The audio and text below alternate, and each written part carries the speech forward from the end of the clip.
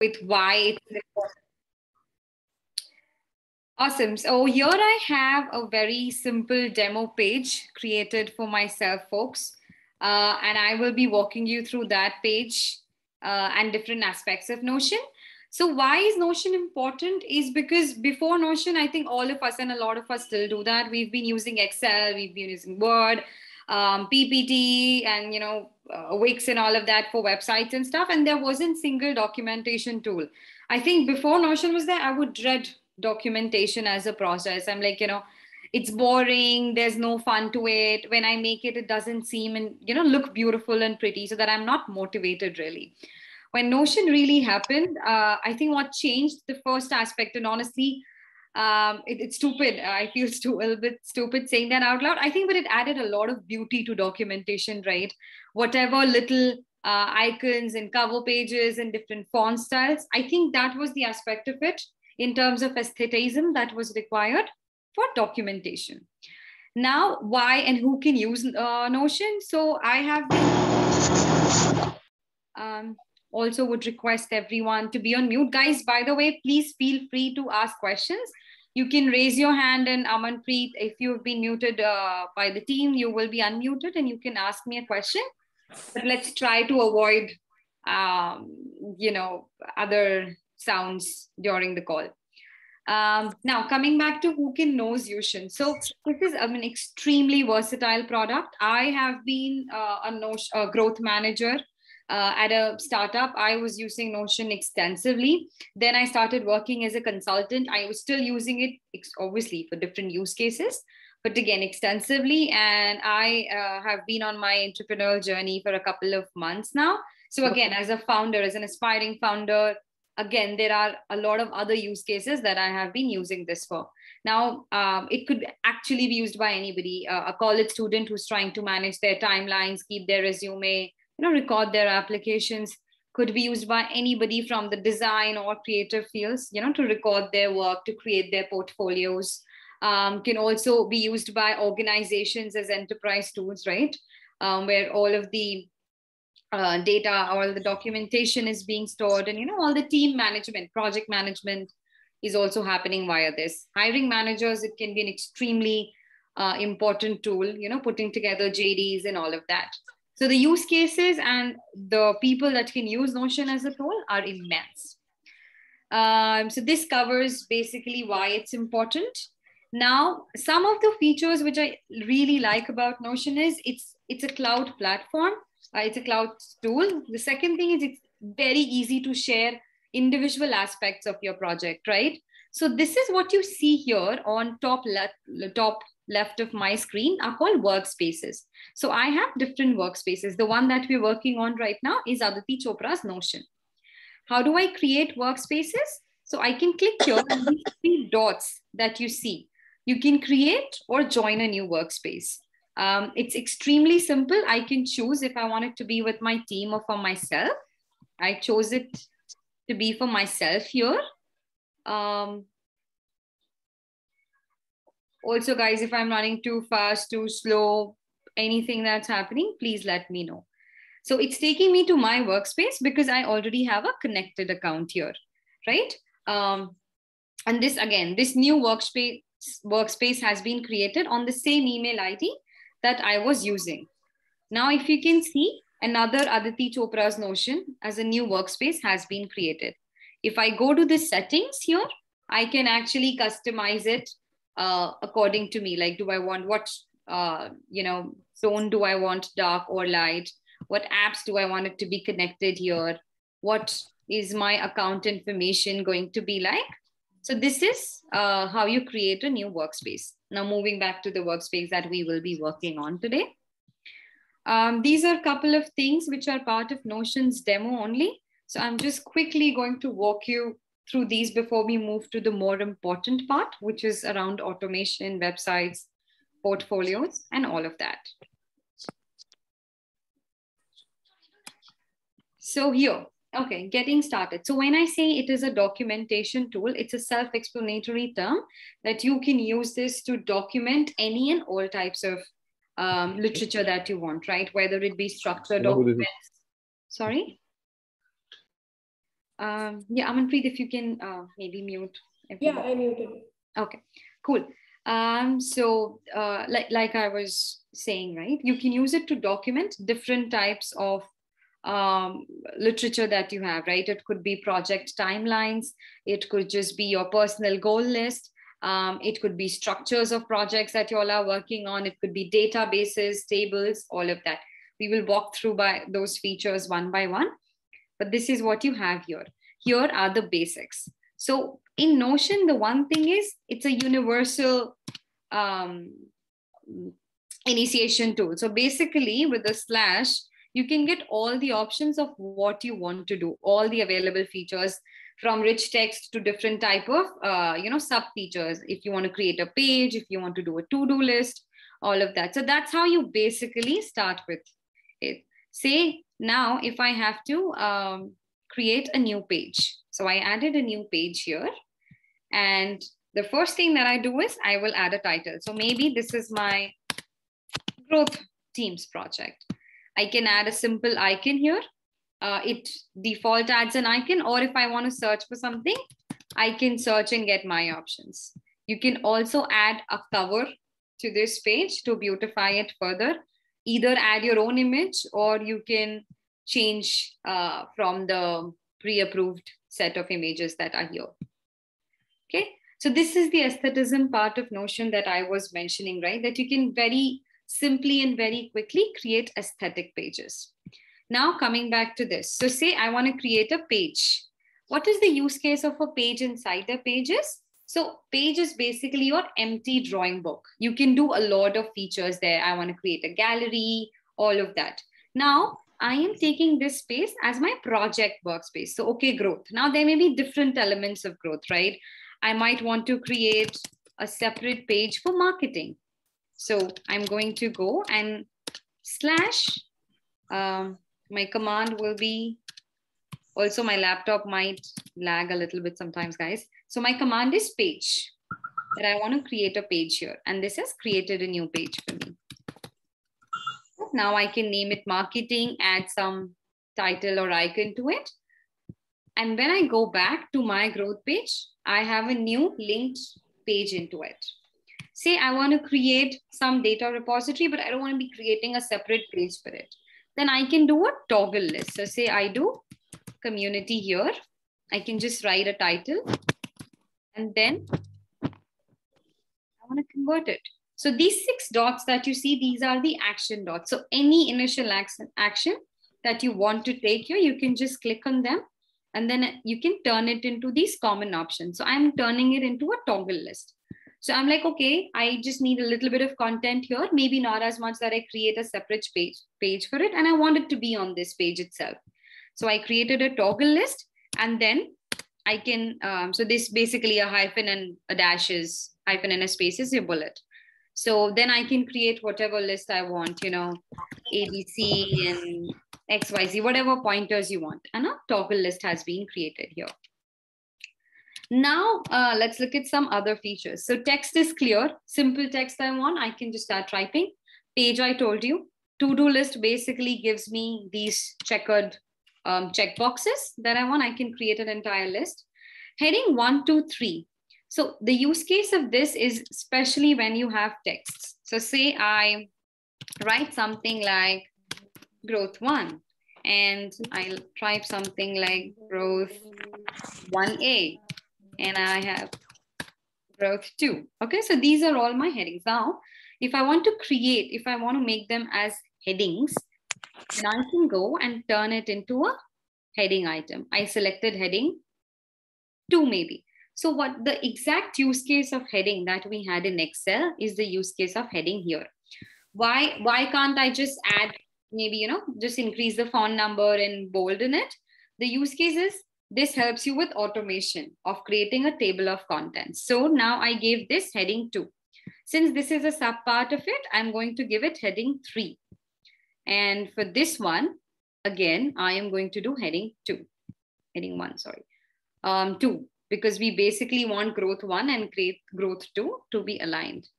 So I did a heading two here. Now, one feature that I have is depending on these headings, I can create a table of content. So I clicked here and see.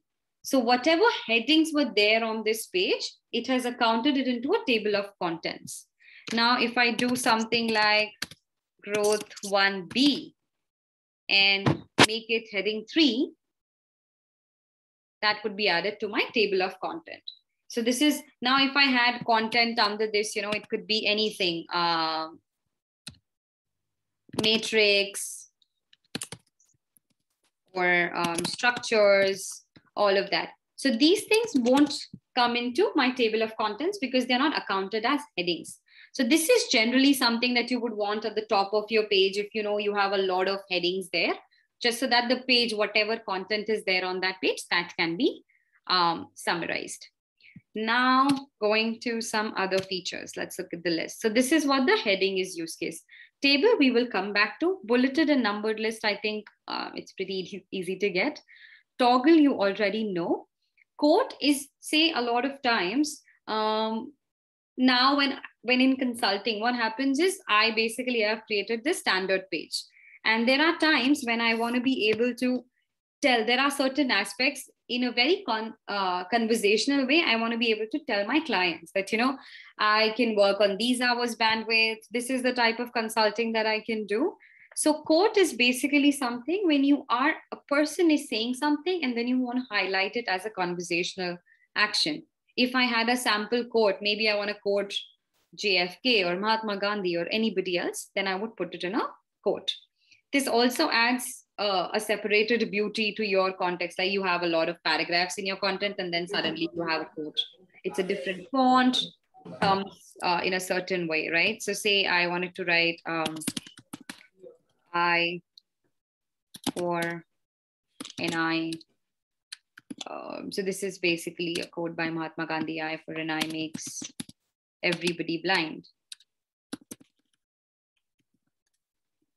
Cool. So I have this um, here and now I want to convert it to a quote. So I will again click on these six action bars and I will turn it into a quote. So this is how it will appear, right? Now in, just imagine in my text, this vertical line actually adds a differentiation to it. So that's your quote block. Now coming to uh, a divider. A divider is simply a line that you can get whenever you want to create. These are simply aesthetic purposes, um, uh, features for aesthetic purposes. Link to a page, obviously, whenever you want to link a separate page. So we will do this um, and then a call out. So there are certain things, right, where you want to call something out or when you want to say. So now imagine I'm writing a paragraph, there's a structure out there, and there's an extremely important note that I want to put out there. Something like, you know, important note or um, servers will be down 1 a.m., something like that, right? That it could be a tech document or anything. And I want to be able to mention, uh, highlight this. Then what I can convert and turn it into is a call out option so this, it becomes an important option and you can just add whatever emoji you want. So since this was important, this is what. So this is how it is then presented in my content. Um, so these are basically some of the features that you have, the general features that are out there. The second part is mentioning a person. So whenever you want to mention a page or a person or anything, you can do an at the rate. If I do an add the rate on a team notion, this is a personal notion, so nobody can really be tagged. But if I do team add the rate, say Amanpreet, then if an Amanpreet is part of that notion group, she will be mentioned there. So this is basically for ownership purposes. I am putting together, you know, task list, then different tasks are to be assigned to different people. So then I can tag them there so that they get the update that they have been added or a particular task. Um, date and reminder, you want to add on a text. So basically you can see a sample here, right? Will do tomorrow.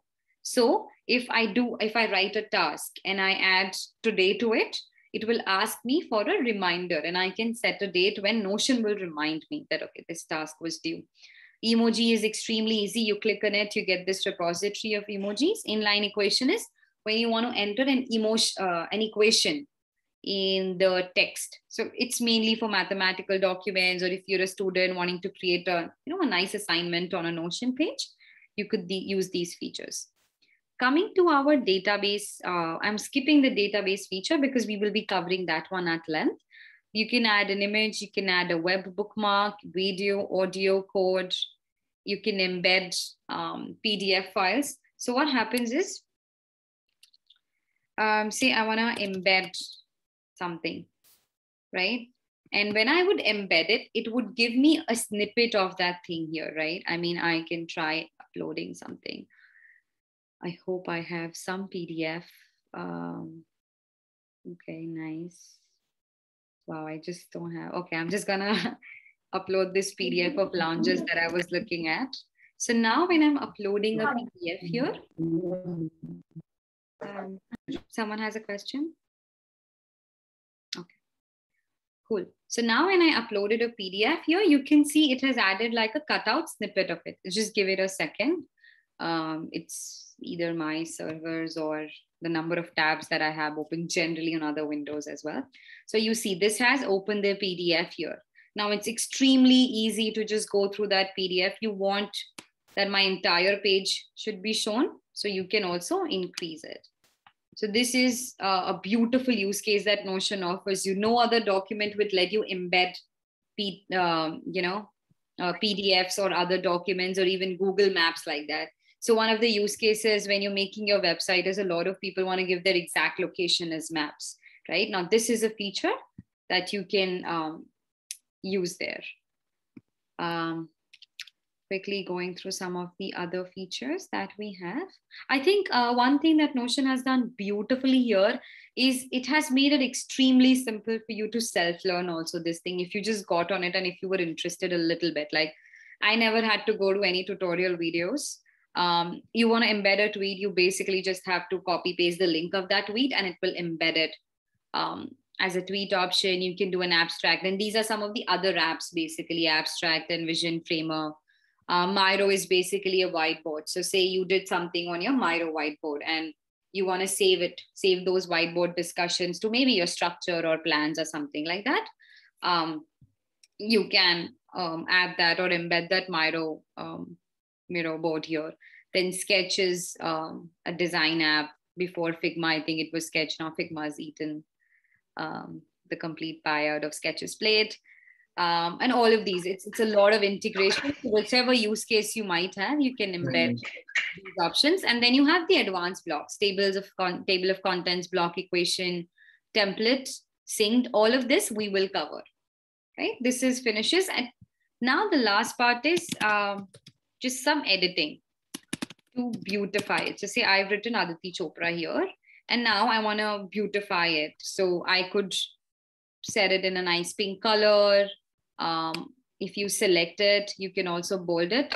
You don't want to go through the six block thing, you can choose it from here also, all of these features. And then when you click on these three dots here, you can actually uh, select a background color or, you know, like I mentioned, font color for it. So said I set up a blue background to it, right? So these are aesthetic features. Now, um, this covers most of our basic aspects of uh, Notion. And these are some standard templates that you can also look at, say quick note, right? Um, this is a simple page, everyday thing, kind of something you want to make a daily task list or something. You want to be able to create um, certain documents, right? It could be a sim- it could be something like a PRD, product product manager. It could be a spine structure document for, for a growth manager. It could be a list of things that a social media manager has to do, all of that. Um, home is so you can also create these home pages, and then this is basically your linked other pages, right? And um, the thing is, when you move these things here, right? If you had these options written um, one under the other, and if you move them to the side, you could create this bipartisan Notion page, uh, you know, also. Um, this is basically whenever you will create a new workspace, Notion will give you these demo options. Now, this is a part of our databases and stuff. Cool. So let's come to uh, database now. That is the most important aspect of Notion, honestly. And we will walk through each single database type one by one. So let's just create, I'm sorry, let me give it a better name, which is, um, well, why will it not type? I'm just gonna call it experiment. So, and cool, I think metal makes sense for an experiment zone. And I don't, I, the already there are pre-filled some of the options. So say I want, uh, okay, let's just choose a calendar here. So now that I have chosen, so there's one more difference. So this now when I chose the calendar here, it converted the entire page into a calendar page, right? Now, if I wanted to type something below it, it won't be possible because this is a broader, like a bigger full calendar page. But there's also an option to create inline. So sometimes maybe in between my pages, I want to create a calendar, right? Maybe I'm sending an assignment and I want to be able to um, send a sample calendar out there. So then let's create another page call it X, Y, Z. I'm not going really very creative here with names. Um, cool. So then I just click here and with the slash, which is our initiation command on uh, Notion, I click the table. Now it has asked me, uh, so this table feature is very simple. You want to create, um, and this is not a database. A table is different from a database, right? A table is just structured data in rows and columns. This is a new feature on Notion. Now I want to create, say, an inline table. So I go here and what we saw initially, right, was this calendar, full calendar, full tables, table-like pages. Now this is an inline feature. If I want to type something below it, I can actually type it here. And this is um, also scrollable. Like if I had more things here like say let me add um, i keep using the word matrix. I have been very well conditioned by bangalore's startup ecosystem folks. So cities and something like that. So now you see it's scrollable. As lo- uh, as and when i have more uh, columns getting added to it it can be scrolled on the page. So this is your table option.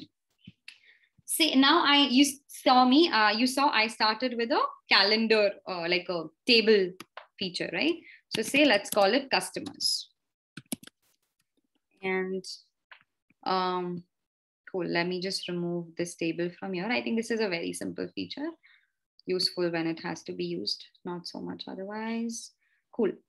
Um, now with this, I am going to choose so the name feature, the first column, it automatically creates a pages for it. So say the first customer is Rohan Gupta.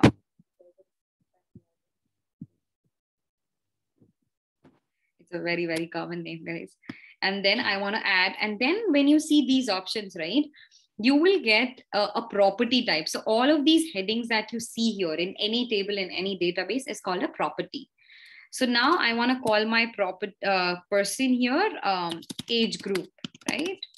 I want to define a, and I want to do a multi-select to this. So multi-select is basically that I will create an option and it will then create pre-fillable options for me. So they, I want to do 11 to 13. So I created this. Then I want to create something like a 14 to 18, created this. I also want to do something like, you know, above 18 it could be an edtech startup like StartLadder, you know, who are trying to categorize their customers into a database. And I did this. So now for any options uh, in this row, I will get these three options, which also you can edit in terms of color. So I don't like gray, I, I want to do it a green, right? So I can do this. I don't want two reds here, so I can make a blue. And for every single next entry that you do, you have a multi-select option fillable here. Say let's want let's want to do matrix and we want to assign uh, some like okay let's not do matrix let's do owners and I will assign person. So everybody from the team with whom this page has been shared, I can tag them. Since I told you this is a personal page, only I am there. So you can tag me. Now, similarly, um, all these property types you have. So if you do text, you will only see a non-media text coming up. If you do number, you can only enter numbers. Select, then you can only select one option, right? In the age group, you could select two options at once. That was a multi-select option. If you choose the date here, say I want to choose birthday, and I have chosen the property type to be date. So then it will show me a calendar to fill the date up a lot of times you want to have deadlines and stuff so you can also add end time and you can also add reminders the notion will remind you on your email and if you have collected calendars of a particular event um, some of the other property types that you have is files and media so if you want files and medias to be connected and nobody can enter text or anything else you can do check boxes you can do emails all of these things the advanced ones we will cover in the linked database. Um, formula is pretty simple. If you add that, you will get those sum, addition, like sum, average, multiplication, all of those formulas. And these are some of the accountability features, right? I want to know uh, if I am one of those bosses who really wants to see their employees or their teammates finishing things by EOD, then I can add this feature also. It can self account for when that document was finished or last edited or you can enter um, those times, right? So you can reference it. And if you create a text column, then you enter it on your own. Guys, if at any point you have any questions, please feel free to, um, you know, ask them because I have done it for quite some time. So maybe I don't have basic questions as to why is what, but please feel free to do that, right? So then I do a status walk here. I wanted to do something like a status check. Cool. So this is your table property. Now let me fill another name and let's do Akshay Sharma. Okay. Um, then again, I add a different age group to it. Now owners, so gotta be same birthday. Let's do a different date. Um, maybe 15 November and status is complete. Whatever, it could be a project or anything. So now you see I have I started with an inline table view. I also want that sometimes, say, um, let me do onboarding. Yeah. And then I'm going to select a single select because, you know, you a user can be onboarded or cannot be onboarded. It's not like, you know, the onboarding is done and an onboarding is in process. This is not an option. So it's going to be Cool. So now I have the table view, but I also want to see that all those people who are there under onboarding process and in a different view. So we will first look at filters here. Filter like in your e-commerce apps or in your um, you know Excel and stuff. Basically, I have a condition and I want output based on all on those conditions. So I'm going to apply a filter here. I just want to see those people in my table who have been onboarded, say. So then I go here and I say where onboarding is onboarded. And you see that the filter option has come up here. So, and when you click on this table, you will see a activated blue filter, which means that there is some filter that has been applied. You can also do one thing, which is add a filter group. So I might have two or three conditions that I only want to see a user who has been onboarded and say um, where the age group is not 11 to 13, let's say. So we shouldn't get any option, right? And where age group is contains, let's say 14 to 30. So because we had nobody who was onboarded and was in this age group, we will not see any of these options. I am going to remove this here. So we got this. Now I'm like, okay, this is a nice view, but I also want to see it in another view, which is a board view. So then what I'm going to do is I'm going to select this board view, right? And I'm going to create this. So now in my board view, what has happened that it has assumed. Um, generally, Notion has this priority cycle of its own where it assumes onboarded and all of that. And it has created this particular, um, you know, board view for me. So now I am like, okay. And you can also edit the names here, right? So I want to call it um, onboarding view, something like that. So I created that. And this, I want to do an overall kind of something. I did that, right? And also one more thing is uh, I love this feature, which is called Emojipedia. So it is just, just of uh, a lot of emojis. So sometimes I'm like, you know, I want to add emojis random places on titles and all of that, but Notion doesn't take those commands. So you can basically come here, you can copy paste an emoji, and, and this is not just for Notion. You can copy paste emojis from here for anywhere and you can use those. So now coming back to our table, I wanted to use an emoji here.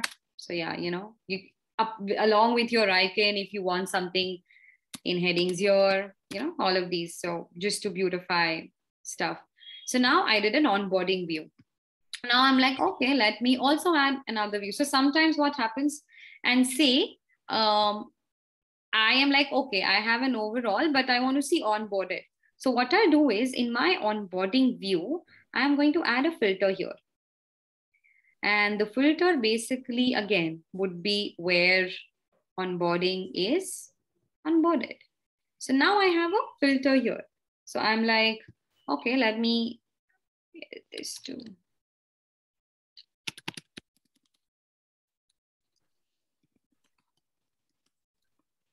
Cool. So I don't want to make edits to my overall table. And I'm like, I should be with, you know, a click of a button, be able to see the entire database. Then I should also be able to see those who have been onboarded. And um, let's add another view here which is say a list view, right? So I am creating this here. And now it has created list on the basis of the names. And now I'm like, okay, this is good, but I also want to, and I want this to be called like a daily updates or all customers database.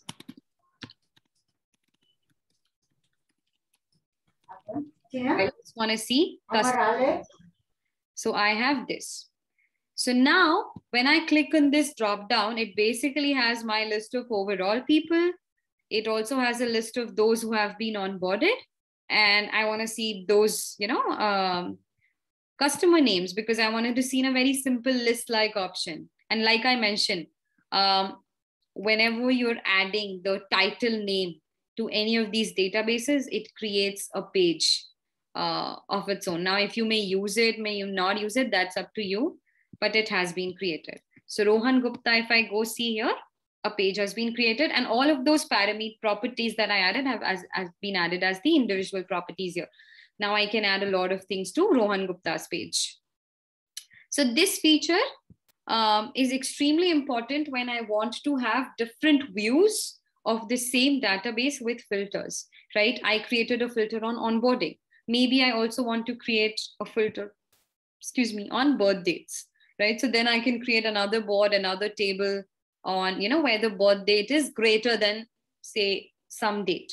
So that way you have all of these beautiful views created and with just one drop down menu you can get all of these features. What i have the two things that i have combined here is different types of views with filters this is something that is extremely useful and is a core moat feature of Notion um, because it's aesthetic, it's simple to use. Excel also doesn't give you this feature, right? You can add a lot of filters there, but you still have to navigate to the parent filter button. Um, cool. Now walking you through all the different views. So table view, we've already seen. Board view is a Kanban board view. This is how it appears, right?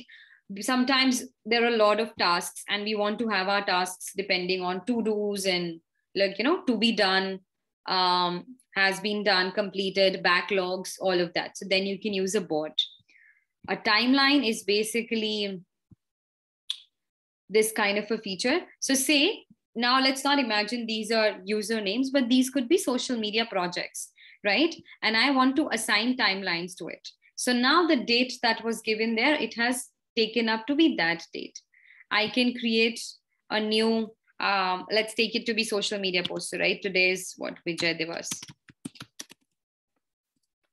So I'm gonna do a Vijay Diwas post and I have my timeline and I'm like, okay, I want this post to run from here to say 6 to I could be um, adding, and I want this to be posted between these dates. Okay, that has already passed.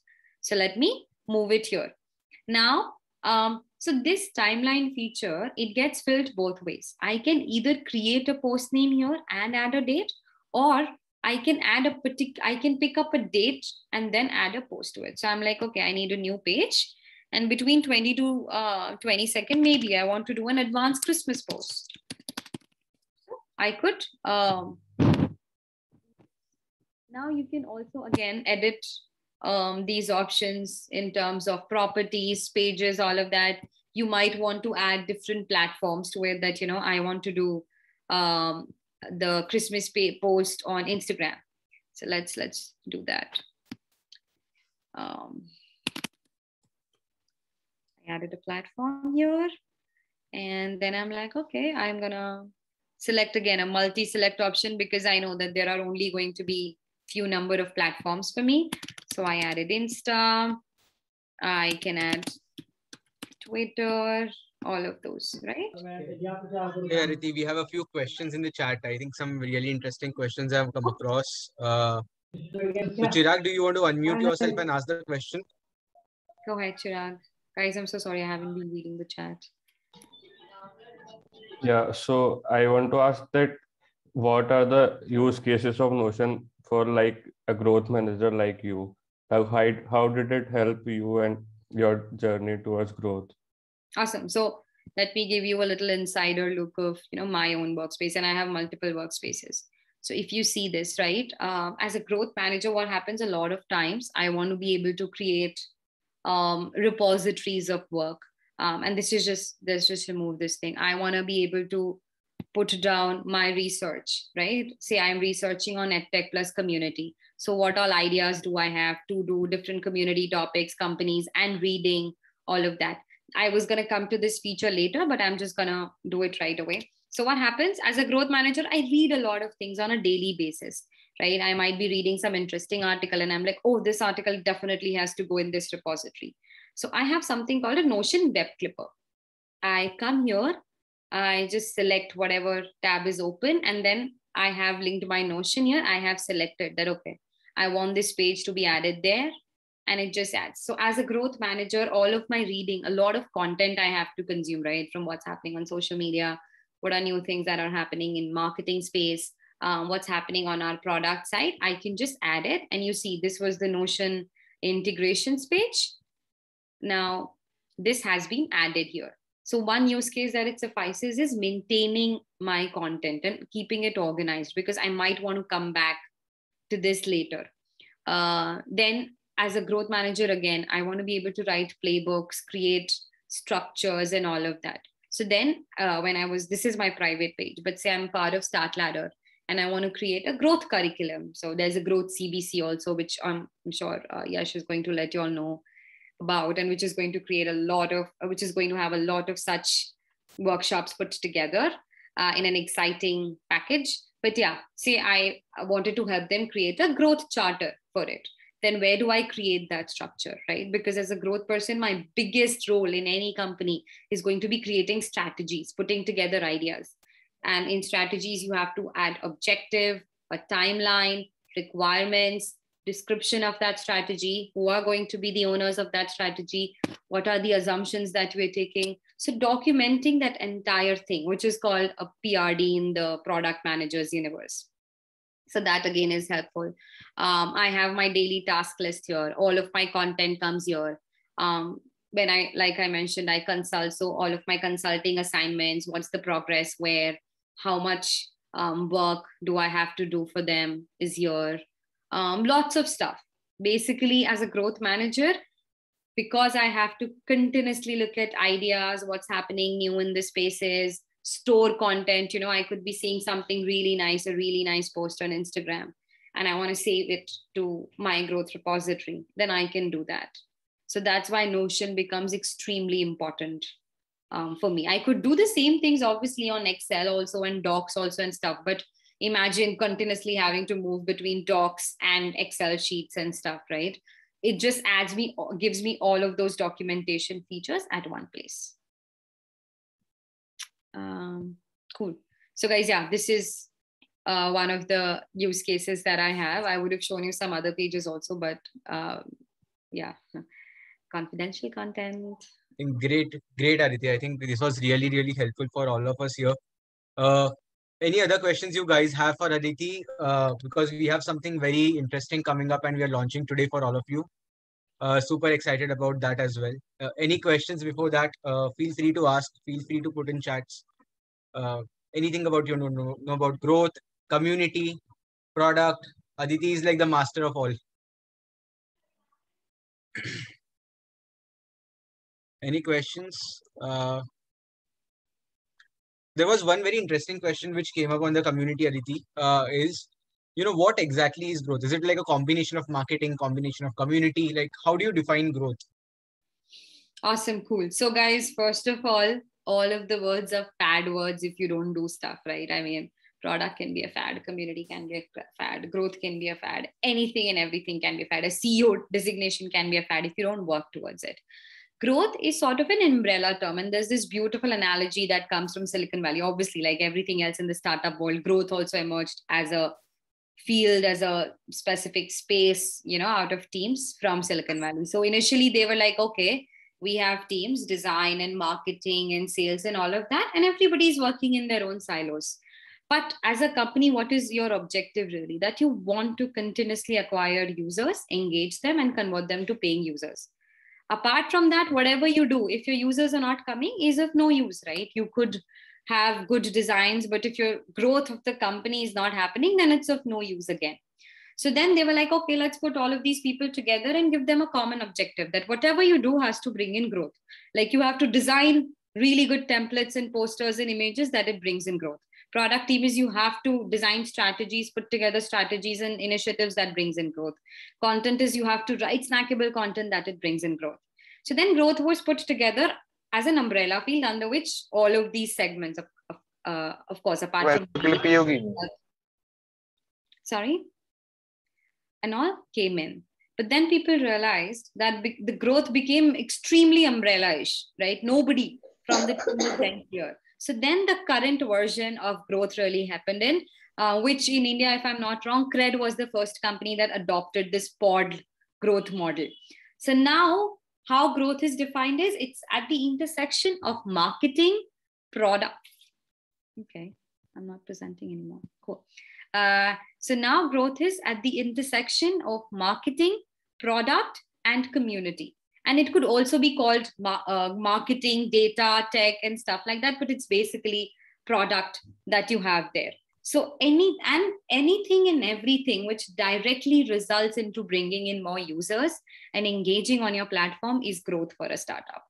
Um, at FamPay's team, growth when I started as the first employee, it was a lot of things: marketing, brands, partnerships, um, at a company established like Razorpay, growth has a lot to do with sales also. Um, if you look at um, you know an like a growth stage company, then growth there might just mean um, putting in funnels and paid acquisition and all of that. So everybody has its own definition. Fundamentally, it's about users, growing the number of users.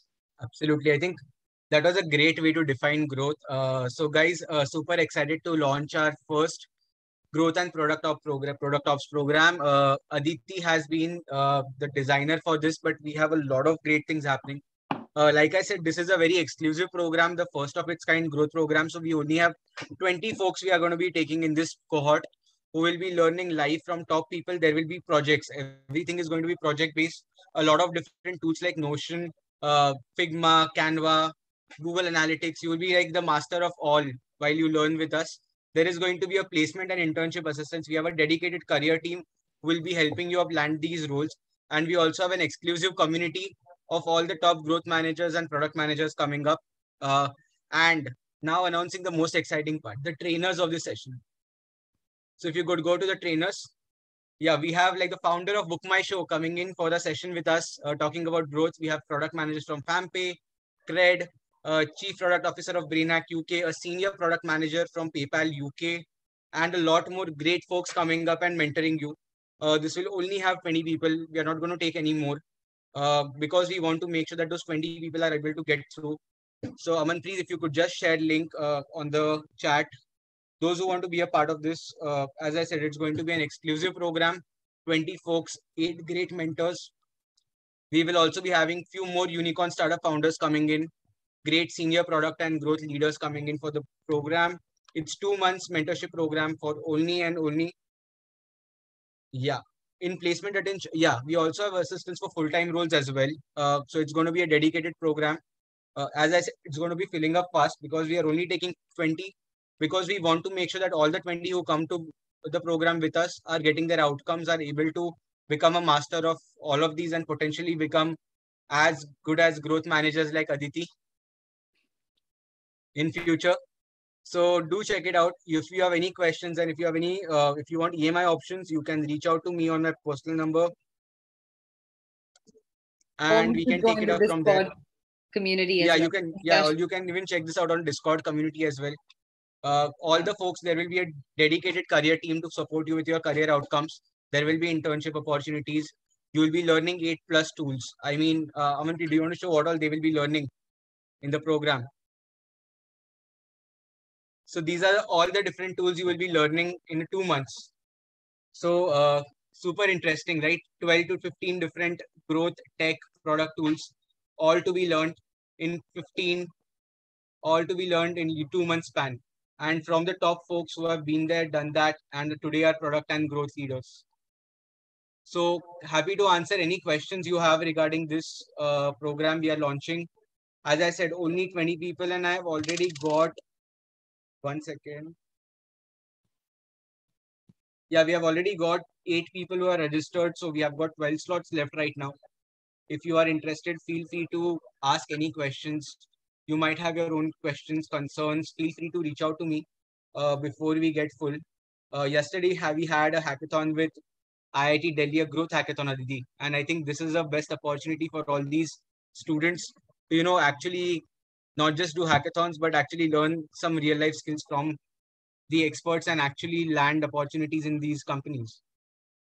No, absolutely. I think uh, if we, if I, uh, if we have any more time, like 10, 15 minutes after this, I would love to walk you all through some of the automations that I did on Notion via this. And that will be just the eye, tip of the iceberg uh, of what everybody can learn on this course from these tools and stuff. I think there are lots of courses out there, but the most important part is something that teaches you these tangible items, right? I mean, um, having interviewed for growth roles for over a year, I realized that these tools really make a lot of difference in your profile and your work performance. I think great, yeah. Uh, feel free to anybody has any questions. Okay, I see a lot of people have already registered. Great. Uh, if you have any questions, drop me a text and we can take it from there. Uh, as I said, we're only taking 20 people and 10 plus mentors.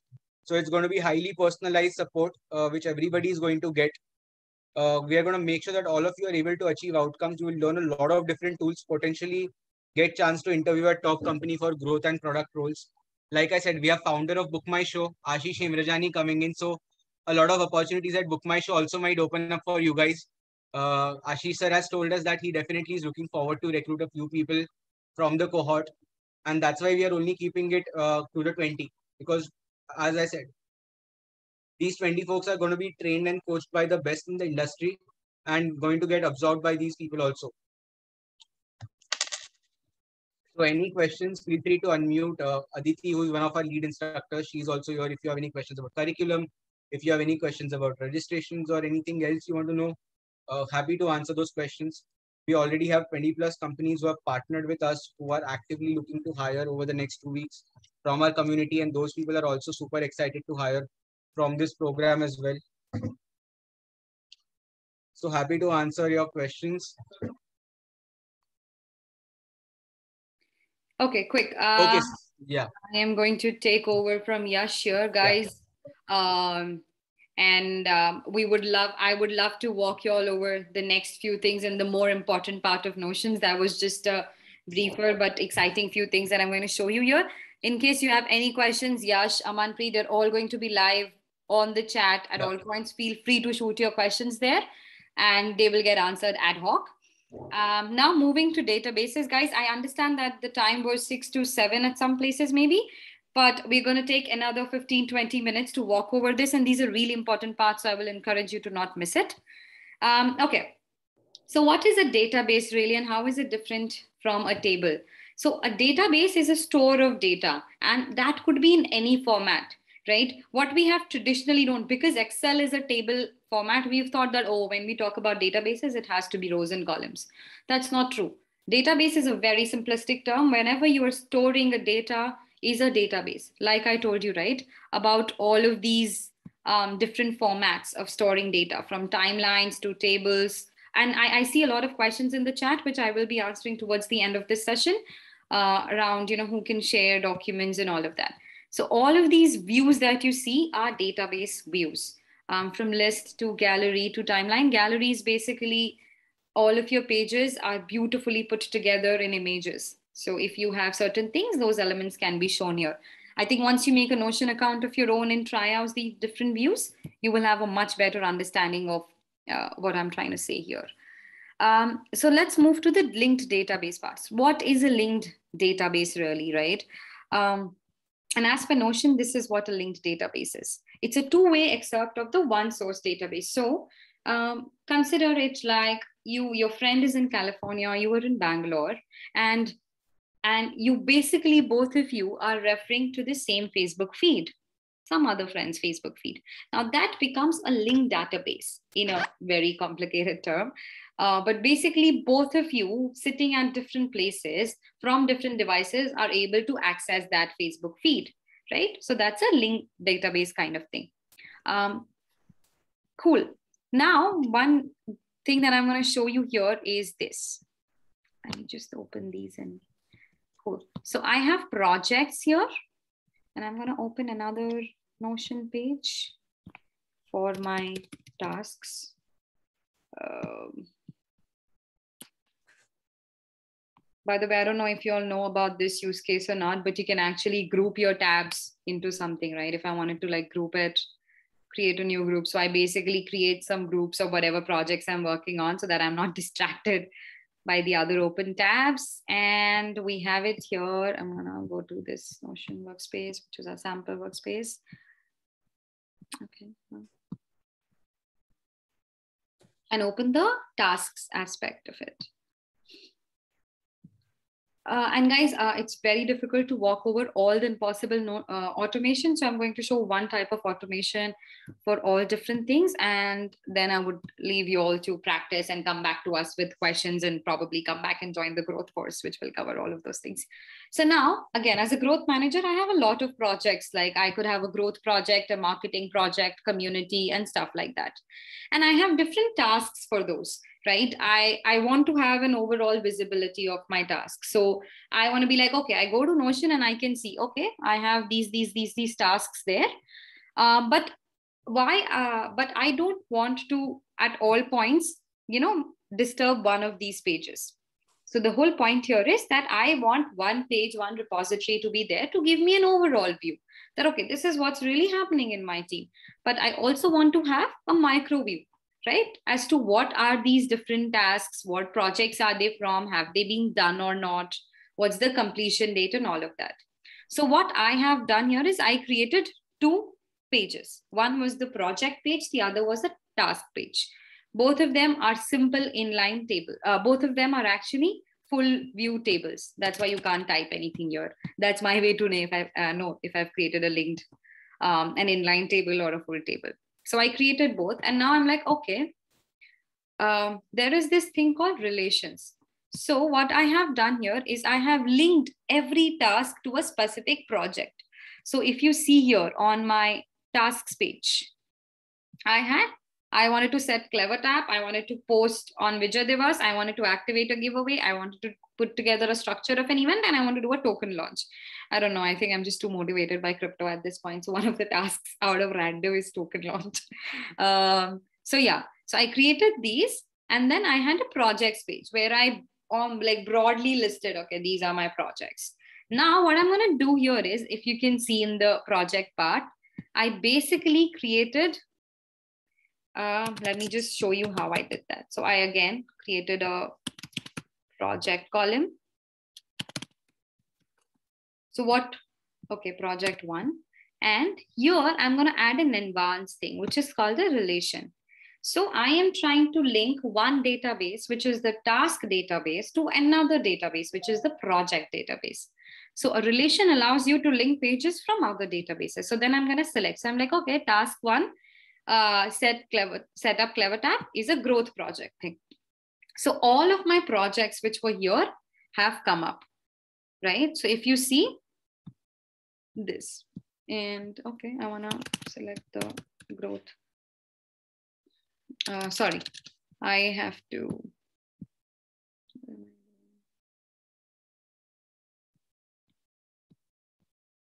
I will have to select tasks.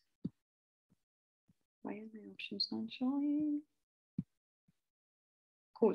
So then I want to create a relation. And before I do that, actually, I will have to create a back. So that was a backlink there. And I first want to add here. Um, so yeah, sorry, my bad. Uh, and this is this is stuff that keeps getting me also confused sometimes.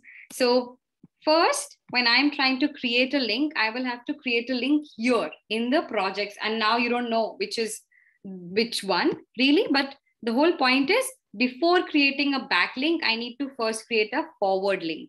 So I want to create and want to link things here in this tab, in the projects tab. So I'm going to come here and then I have already created that backlink, right? So I set up Clever, CleverTap and this is selected. And this is posted. And now I can change the name again to tasks one. So you see, this is how I have created all of my tasks under different projects. Now, if I go back to the tasks page, and I can now unlink another. So now all of my projects are showing up. So you have to do backlinking of it. And if you open this page, right, the growth page, you will see all of your tasks put up here because I already created that but that's just something that's visible. Um, say, let's do a sample, a new sample thing, just to show you all from the basics. Let me create a new project, which is life project. And I am opening it here and I add a random icon to it.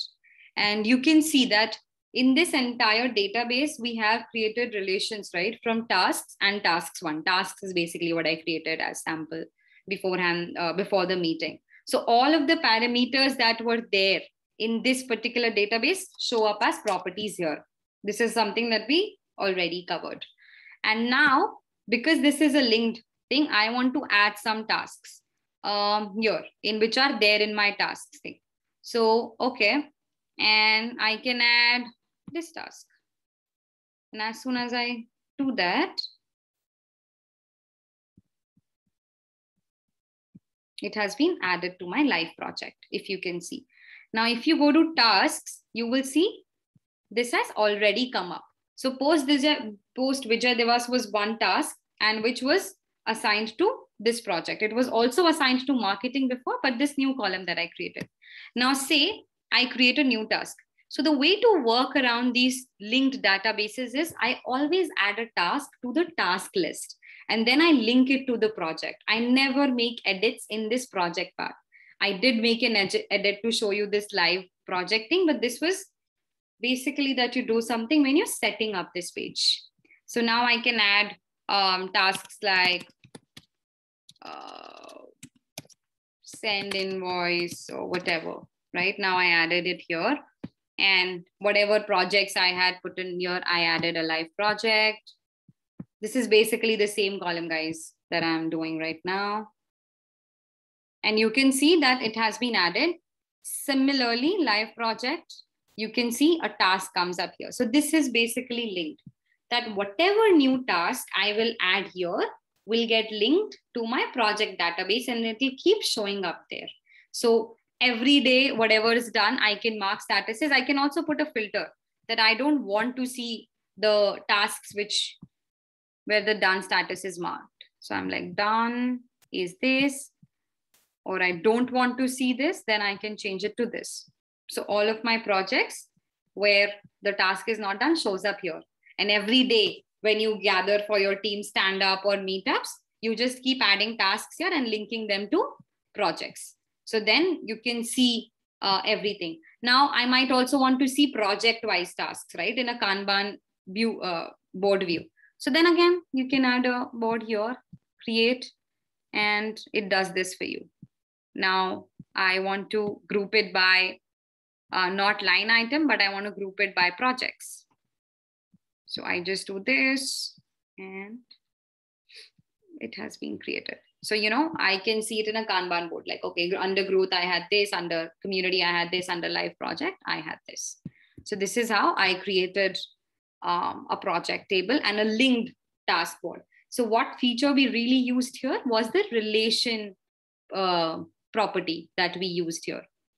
Every task, you can also see that it has been backlinked to a particular project. See? Cool. So this is one of the most important features. Now, one more thing is, um, say I open up growth and I'm like, okay, sometimes I can see the tasks here, but okay, so now in this column, what I'm able to see about my tasks is just the tasks. I'm not able to see that, uh, you know, deadline for these tasks. I'm not able to see the individual status of those tasks. And I don't want to be opening up every task every time to see that. So I'm like, okay, I should be able to open a particular project uh, project page and see all of these tasks and their statuses there. So what I have done here is I have added a project template. So the same template that I was adding to any task page is something that I have created as a project template. So again, I go to my any project page and I'm like, okay, I want to let's do this again instead of me explaining via cool. So i'm like uh, you have these options right on any of these link pages. So i'm like i want to add a project tem- template here. I clicked on that and because it was all sorry it's already pre-selected in mind that you know uh, if you were doing it on a new page or without linked templates it would ask you which template you want to select and then it would open a drop down list of pages any of those pages can be converted as templates. Here, because I selected the task database as the template, it just put up uh, this template here. Now, see, like I create another page. ABC. Again, I go to project templates. And it has given me the same exact template which I had selected. If you were doing it for the first time, it would ask you which template do you want. This table is empty because I have no tasks, no entry in front of this table. So this is again another use, uh, use case for me as a growth person that I come, I have this page created, I just clicked on the project and I can see the status of all of my tasks and everything. So this just helps me have an overall visibility and see, okay, what do I need to prioritize right now? Like I have a deadline and stuff. Now comes another very important property, which is called roll up. So roll up is basically uh, giving you like a nice up roll up uh, summary of what's really happened in your task. Cool. So let's select this and let me go to roll up option. So these are some advanced features. Um, I selected roll up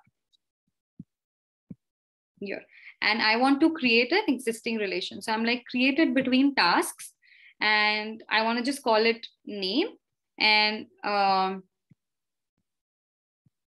calculate what I want to calculate. I want to calculate how many unique values are there, but these are tasks. I want to count how many tasks are there in my project. I could do that. I want to count unique values. Then say if I had two tasks with the similar page names, it would count unique values for me. What I want to do is uh, I want to count percentage, empty, not empty, um, all of these features that you want, right? Now I could also have, so this was by name. I'm like, I want to roll up, roll up by percentage complete. So I went by estimation um, done status. That would give me like how many have been completed. And I'm like, okay, I want to see how many have been um, checked. So basically in my done status, how much of it is done. So it tells me that, okay, this is percentage complete.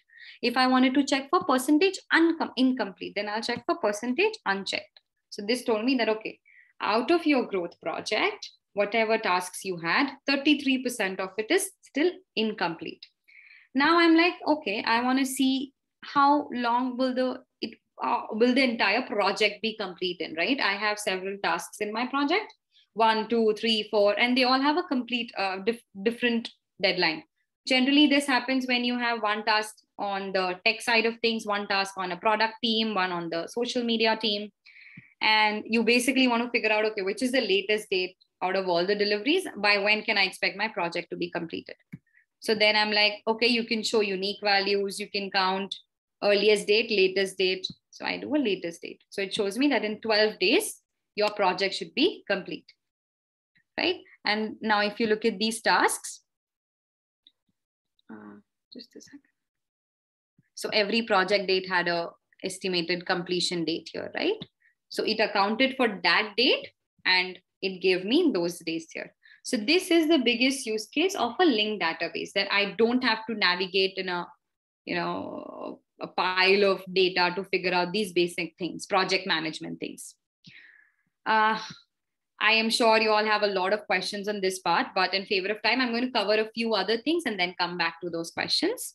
If there are urgent questions, then please unmute yourself and ask me those. Any questions? I think I should just quickly check chat. Um, cool. I think this is uh, good here. Now coming to, okay, this is an extreme feature. Okay, so since we talked about automation, what is automation really? So automation, how I like to define is something that's just a repetitive task that's making my life easier, right? So one of the classic use case that I used to have is a lot of time different teams would just report that they have a problem something is not working and it's difficult right to pick up things from slack different channels and uh, then just record it somewhere so one automation using zapier. Zapier is an automation and integration tool which i would suggest all of you all to check and know about. This is basically what zapier. And the automation that i'm showing you here is this. So a lot of times my team would basically have um, problems, right? Different channels that this is not happening, this is not happening. So now imagine this is a whatever channel you want to consider. It could be a general problems channel, bugs channel, and somebody posted that Zoom call is a lot. And anybody could have posted this, right? and then i'm like okay as a growth manager as someone who has to you know keep track of these problems that are happening on our end uh, i have a i get this from my user in the team and i'm like okay so how i've automated it for myself is whenever someone reports a problem i react it with a certain emoji say slack emoji as soon as i do that it gets added to my list of bugs you see, Zoom call is lacking a lot and it added with a status to do via Slack. Now imagine how easy that has made my life as a manager, as a product manager. A lot of people from team are just posting problems and whichever problem I think is viable for me to solve or for me to look at, I just go react it with a particular emoji and it just lets it down for me. So at night, I don't have to go through that entire Slack channel, but just come here and see what I have to do. So this is one interesting, uh, and thousands of such emo automations can really be done using Slack, Notion, all the other you know SaaS apps uh, with Zapier. So I'm quickly going to show you how I did this. So let's go to, so this is basically whenever you create a such a link, it's called a zap. And let me show you zaps. I hope this works out and I don't have to do a lot of logging in online, I'm super skeptic of having those on Zoom calls and recorded data, however much Zoom prides in its security. Um, cool. So this is this is a uh, this is a Zap which is on right now. Let's go and let's view it.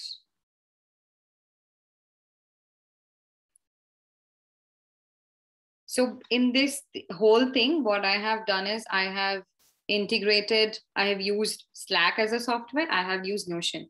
You could have used anything that you wanted, honestly. Like you could have used um, uh, Google Drive and stuff like that. So first of all, that you have to do is you have to choose app and event. So I chose my app, linked my Slack with it, and the trigger event is a new reaction is added. So I also selected which reaction really is right. Now you can have different types of things. New message posted on a particular channel. Somebody mentioned me, and whenever I am mentioned, I want that to enter in the bug. Or somebody um, anything you know all of these things that can happen as actions in slack they have it pre-recorded here. I was like okay if a new action is added i want that to be the trigger. Then i continue.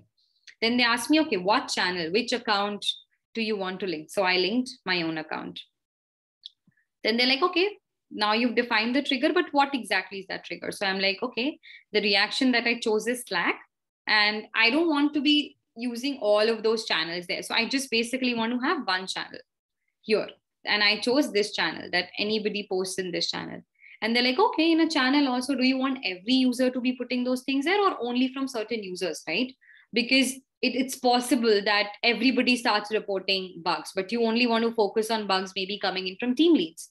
So then i chose a user also. And then is i will test the trigger um, here. On the other hand it also wants me to link notion. So how did i do that? And this is this is an automated flow. You will never have to bother about you know knowing what step to do next. Zapier walks you through that entire process. Uh, notion slack all of these such new age apps have been built in a way that integration is very um, you know skin deep and bone deep to them. Again it asks me to choose the app and the event. I'm like okay you choose the app as notion and what is my trigger or what is my event that i want is create a database item. So i created that then they're like, okay, you choose an account. I choose my Notion account. They're like, set up an action. I'm like, okay, I'm setting up an action in this database.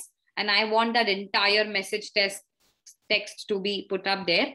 It could be, you know, if there's a link, do you want the link to be there? Do you want the message name or channel name? I'm like, no, I want message to be there. And they're like, what do you want to define? So I had defined in my Bugs channel several um, of these multi select options you remember from earlier.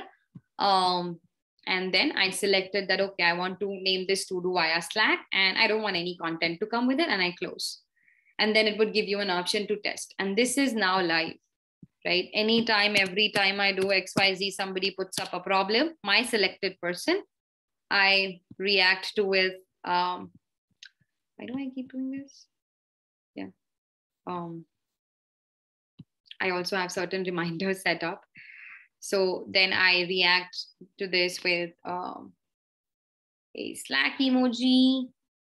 You could choose any emoji. You can even do custom emojis if you have, and then it would end up in my uh, page. Cool. So this is another automation that you could do. Um, websites and portfolios, I would love to walk you all through this, but I think this is for another time. I think all those who are going to join me for the course will be covering this there and separately, maybe a part two section if Yash organizes that. Um, but quickly, I think um, I'm just going to walk you through these two Notion makers. Fruition is my favorite uh, Notion website maker. And the moment you go to Fruition, they have an entire process set up. It's free, it's open source. You can do your own domain names and create beautiful websites. I mean, my consulting website is made out of Notion. Whenever I have to send certain briefs to clients, right, customized, I just do it on this site.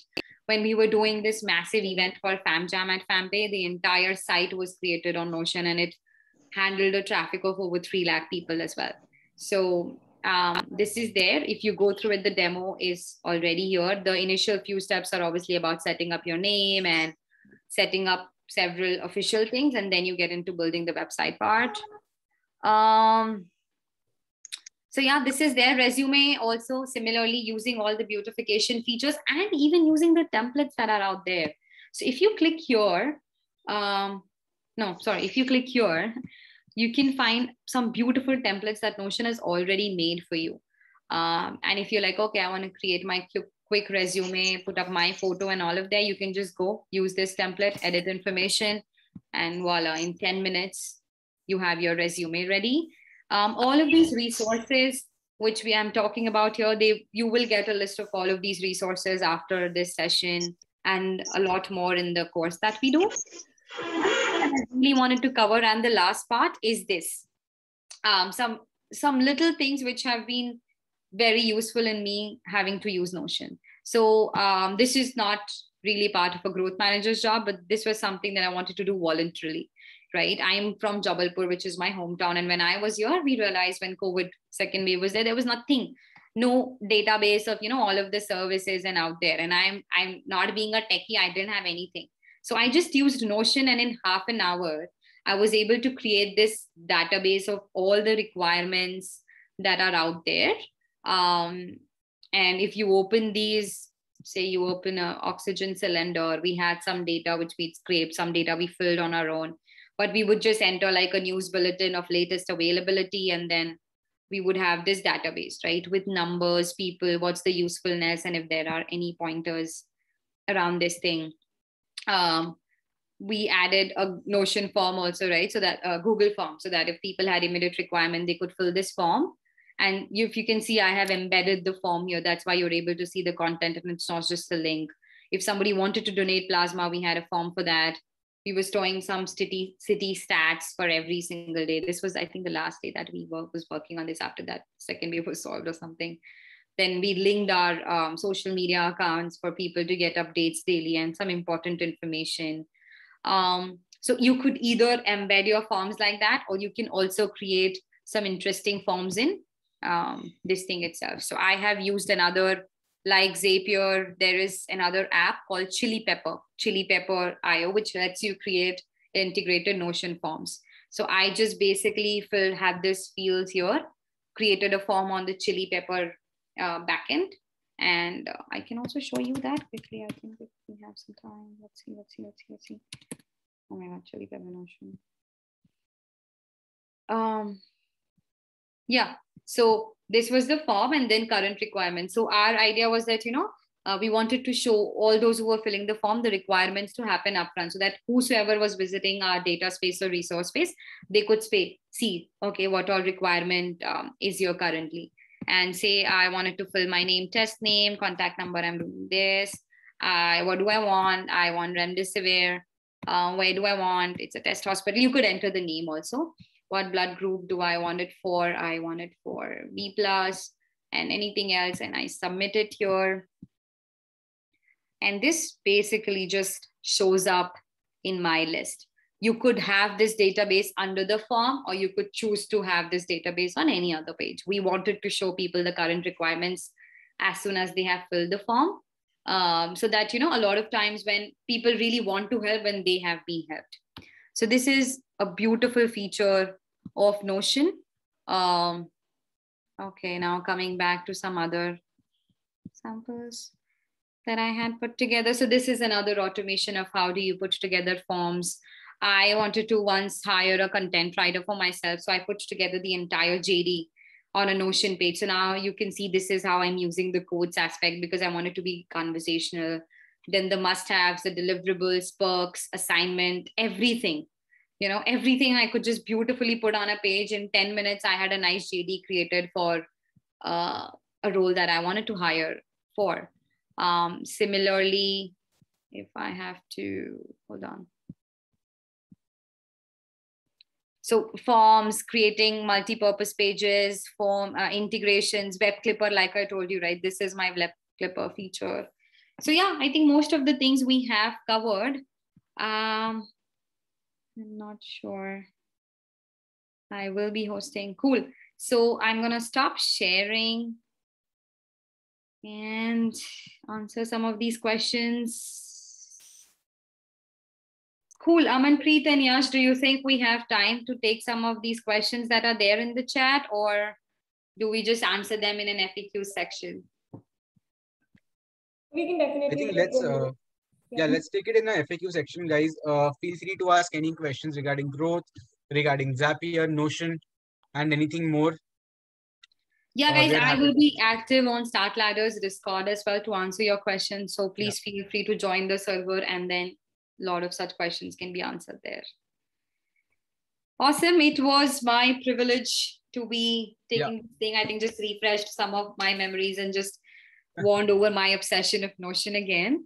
Thank you, Yash Amanpreet, for organizing it. Yeah, thank you, Aditi, for coming. Uh, have a great day and looking forward to see you as a lead instructor at our growth cohort. A lot of them have already enrolled, so we are super excited to see what happens and what career outcomes these guys are able to achieve from the program. Absolutely. Trishla, Dushyant, all of you guys, feel free to join Discord from StartLadder or you can connect with me on LinkedIn and we can chat there also. But um, yeah, guys, bye. Have a good evening. Thank you so bye, much. Have a good day. Happy to take any questions, guys, about the program, uh, like about registration or anything else. Uh, feel free to ask your questions or you can drop me a text. I'm putting my number in the chat. Uh, happy to answer your all questions. Happy to answer all your questions.